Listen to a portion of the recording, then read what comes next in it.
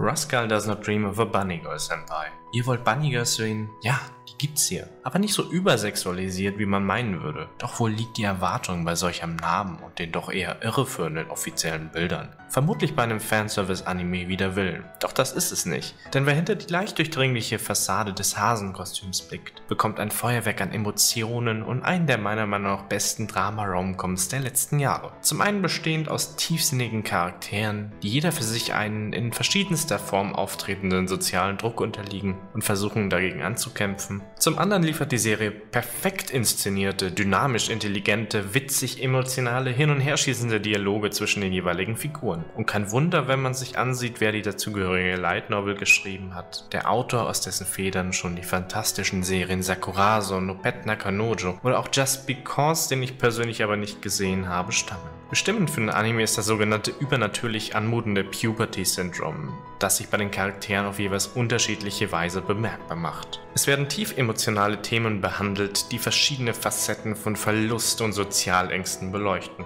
Unser Protagonist, Oberschüler Sakuta, wird gleich am Anfang mit einer ersten Ausprägung des Phänomens konfrontiert. Die eigentlich bekannte und beliebte Teenschauspielerin Mai streift in einem Hasenkostüm durch eine Bibliothek voller Menschen. Doch niemand erkennt sie, niemand bemerkt sie, niemand außer Sakuta. Dieser nimmt sich ihr an und hilft Mai, sich ihren selbstgeschürten Ängsten zu stellen und sie wieder ins Gedächtnis der Menschen zurückzuführen. Schnell entwickelt sich eine knuffig innige Lavi-Davi-Beziehung zwischen den beiden, doch das soll nicht das einzige zu bewältigende Puberty-Syndrom in seinem Umfeld bleiben. Die Charaktere kämpfen jeder für sich und mit Hilfe von Sakuta gegen ihre Problemchen. Ob Koga, die unermüdlich beliebt und geschätzt werden will, die Liebe um jeden Preis verlangt und damit sich und Sakuta in ein täglich größtes Murmeltier-Situation bringt, oder auch seine Schwester Kaide, die wegen eines Mobbing-Vorfalls in ihrer alten Schule eine Amnesie erlitten hat, sowie eine Persönlichkeitsveränderung durchlebt. Vergessen darf man aber auch nicht Ryu, die mit ihrem Körper einfach nicht zufrieden ist und auf dann spezielle Art und Weise Aufmerksamkeit sucht. Oder Nodoka,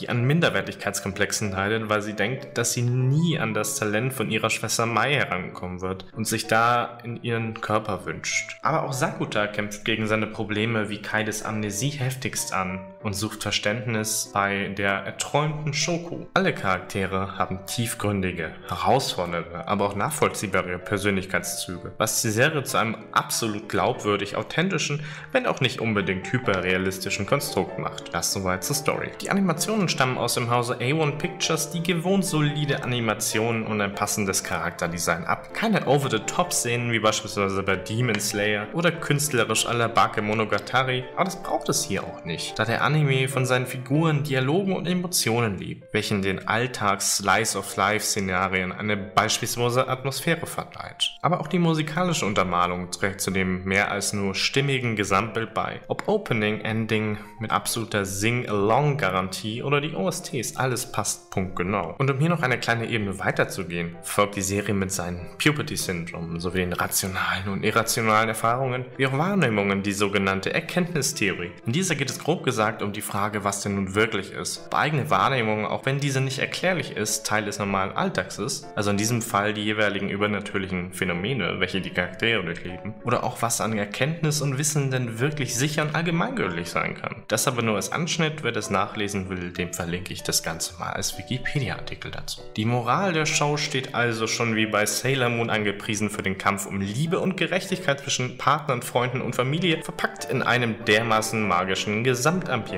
Da ich aber selber auch mit den anfangs beschriebenen Fanservice-Vorurteilen gemutmaßt hatte, war ich umso erstaunter, was der Anime dann am Ende wirklich war. Der Abschluss der Serie und der Film sind auch gut gelungen und sind nicht nur auf Kauf den Manga, die Light Novel oder sonstiges ausgelegt, um die anderen 90% des Plots zu erfahren, wo, wobei ich natürlich nichts gegen eine Season 2 sagen würde. Da ist halt die Frage, hat man da noch genug Story? Grundsätzlich würde ich sogar auch wirklich die Light Novel lesen wollen, wenn es denn ginge, denn wie in so vielen Fällen gibt es leider bisher keine englische Besetzung. Alles in allem kann man die Folgen sehr genießen und die Zeit vergeht auch wie im Fluge. Ihr merkt schon, ich komme da aus dem Schwärmen gar nicht mehr raus. Also Fazit, der beste Weg, das Ganze zu verstehen, zu erleben und zu fühlen, ist durch Selbstsehen. Ich kann Ihnen getrost jedem empfehlen, der Drama gespickt mit Mystery und Romcom mag. Für mich eine der Top-Romance-Serien überhaupt, mitunter einer der schönsten Pärchendynamiken zwischen Mai und Sakuta. Den Anime kann man aktuell auch ganz legal bei Crunchyroll anschauen und nein, das ist kein Product Placement. Und wie immer gilt natürlich, alles hier Gesagte ist und bleibt meine Meinung. Wenn euch die nicht gefällt, dann macht doch ganz einfach eine Like. Wir sehen uns beim nächsten Video. Euer City Blue.